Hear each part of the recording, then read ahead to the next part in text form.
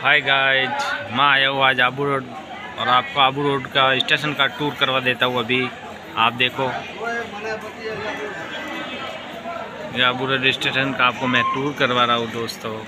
हाय guys ये Abu road का station है। कभी आप आओ तो। मैं आबू रोड स्टेशन का टूर करवा रहा हूँ आपको। छोटा सा टूर है।